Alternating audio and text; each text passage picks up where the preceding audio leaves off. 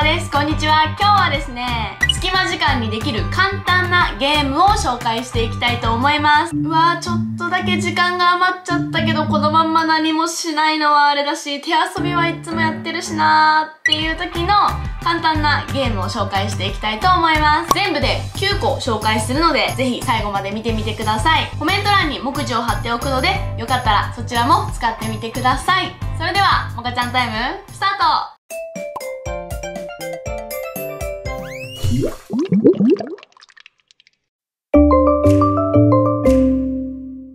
一つ目、落ちるまで拍手ゲーム。これはですね、先生の手が、こっちの下の手にくっつくまで拍手をするゲームです。なので、ここにくっついたら拍手はしないで止めてください。で、これはね、例えば落ちるまでなので、こういったティッシュを使って落として床に落ちるまで拍手をし続ける。でも大丈夫です。で、何にもない場合は手でやってみてください。見本で一回やってみますね。今日じゃあ、このティッシュが床についたら拍手をしないで、お手手をここにしてください。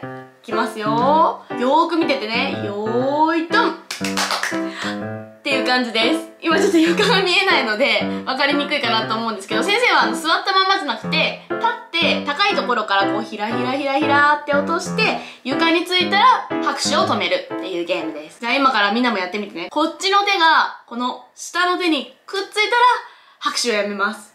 じゃあここにいるときは拍手だよね。じゃあここにいるときは拍手だよね。じゃあ下についたらやめます。いくよよーいどん。拍手拍手拍手拍手拍手拍手おしまい。できた？じゃあもう一回いくよ。よーいどん。拍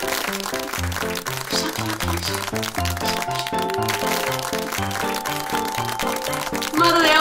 まだだよ。まだだよ。あーまだだよ。まだだよ。ストップ。っていう感じでちょっとフェイントも混ぜながらやってみるとわーってなって盛り上がるんじゃないかなって思うのでぜひやってみてください。でねこれが、ま、歯科検診とかを待つ場面でやるときは拍手はすごくうるさくなってしまうと思うので手をぐるぐるぐるぐるってやるとかまあ何でもいいんですけどこう音が出ないようなぐるぐるやってねーっていう風にするのもいいんじゃないかなと思います。次。ですね、全身じゃんけんです。普通にじゃんけんすると、最初はグー、じゃんけんポンという風になると思うんですけども、広がれるースがある場合は、全身でじゃんけんしてみてください。体を動かすこともできるし、すぐにできるので、1回だけでも終わらすことができるし、ちょっと待つ時間が伸びちゃったなって時は、2回3回と続けてやってみるといいと思うので、チャレンジしてみてください。で、これはね、じゃんけんで、勝ったとか負けたとかがわからない年齢の子たちは、真似っこをするだけでもいいと思います。パーとか、グーとか、チョキだったら足でこうチョキにするとかね。で、先生の真似っこをしてねって言って、グーとかパーってやってみたり、じゃんけんのルールを理解している年齢のお友達だったら、じゃあ先生に勝つように頑張ってね。最初はグー、じゃんけんぽいみたいな感じでやってみてください。次。い、ては、丸×クイズです。これもね、結構定番だとは思うんですけど、意外と思いつかないかなと思ったので入れてみました。例えば、丸×クイズをね、考えるのもすぐ考えられないと思うので、自分のことについて、丸×クイズを出してみてください。それでは、問題です。先生の一番好きな色は赤です。丸か×か。先生が好きな色が赤だと思う人は丸。赤じゃない青とか黄色なんじゃないかなって思う人は×を出してください。いくよー。せーの。正解は×でーす。先生が一番好きな色は紫です。紫のもの何があるかな？ぶどうとかあるよね。ぶどうもあるしあとはナスも紫だよねっていう感じでいろんなお話につなげてみたりとかあとはもっとねちょっと今のなんだろう言葉を理解するのに難しい問題だったかなって思うんですけど今日のお天気は雨丸か×かとかでもいいと思います。せーので出してねって言ってせーの。丸とか、せーの、×ってやると楽しいんじゃないかなと思います。でね、一番最初に先生の問題って言ったんですけど、ちょっと時間がもうちょっとかかりそうだなっていう時は、お友達を一人前に呼んで、〇〇くん一番好きな食べ物何？あー、なるほどって言って、それでは、〇〇くんの好きな食べ物は、オムライス。丸か？バツかとかって言って一人子供を前に出すともっと盛り上がったり子供自身それぞれのね自己紹介とかにもできたりすると思うのでぜひやってみてください。次。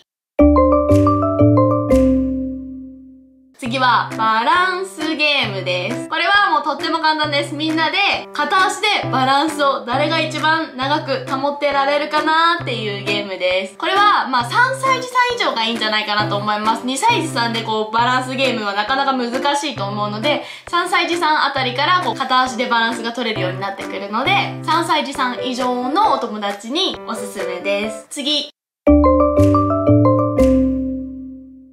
次は、雷ゲームです。この時期ね、結構雨とかも降って雷とか鳴る時もあると思うので、結構ぴったりかなと思うんですけど、か、か、雷って言ったら、おへそを押さえます。雷様に取られないようにおへそを押さえます。他のね、雷以外の言葉の時はおへそは押さえません。じゃあ一回やってみるね。か、か、雷押さえられた？よし、じゃあ次もう一回いくよ。じゃあ手は膝に戻して、か、か、カラスカラスだよ押さえてる人いない大丈夫？カラスは押さえません。みんなできてるね。じゃあもう一回いくよ。か、か、髪の毛っていう感じで、これはいろんな言葉のアレンジができると思います。うさぎさんゲームだったら、うさぎって言ったら、うさぎのポーズをするとか、う、う、うさぎ。じゃあもう一回いくよ。う、う、浮き輪。セーフみたいな感じでいろんな言葉でやってみてください。次。はい、次はですね、エアー縄跳びです。その名の通り、エアーで縄跳びをします。その場に立って、ぴょんぴょんぴょんぴょんって縄跳びをしてみてください。はい、じゃあ次は後ろ跳び。後ろ後ろ、できたできたみたいな感じで縄跳びをやってみます。でね、年長さんとかになってくると、こう、二重跳びとかやってみると、こう、バーって腕をたくさん回したりとか、ジャンプして、体も動かせて楽しめると思うので、エアー縄跳び、ぜひやってみてください。次。次は、落ちた、落ちたです。これも定番で結構みんなルールは知ってるんじゃないかなって思うんですけど説明します。まずは先生が落ちた、落ちたっていうので子供たちが何が落ちたって言って雷って言ったらおへそを押さえます。さっきの雷ゲームと一緒。おへそを押さえます。げんこつって言ったら、げんこつされないように頭を押さえます。りんごって言ったら、りんご拾ってください。キャッチして、あまま食べます。いいですか？じゃあ練習してみよう。リンゴって言ったらどうすんだっけ？そう、前に出してキャッチ。げんこつげんこつされたら痛いから頭を守ります。雷って言ったら、おへそ。いくよじゃあみんなでやってみましょう。3。はい。落ちた、落ちた。何が落ちた？げんこつ大丈夫？頭守った？よし、もう一回いきます。落ちた、落ちた。何が落ちた？雷大丈夫？おへそを取られてない？確認して。セーフ大丈夫だった。落ちた落ちた。何が落ちた？リンゴ。みんなリンゴゲットできた？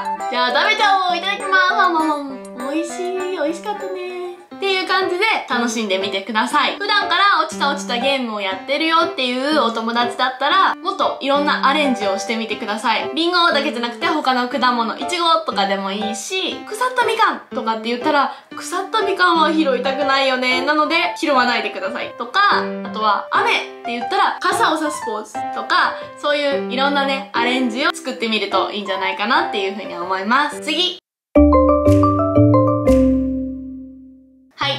ては、後出しじゃんけんです。まずは、普通にじゃんけんするときは、最初はグー、じゃんけんポンのタイミングで一緒に出すよね。だけど、チョキを出したら、じゃあチョキに勝つには何を出すんだっけ？グーを出すよね。なので、先生がチョキって思ったら、グーを出してください。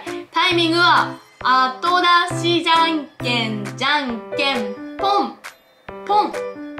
くらいのタイミングです。まずは、先生に勝つように後出しじゃんけんしてみるよ。3、はい。後出しじゃんけん、じゃんけん、ポン、ポン。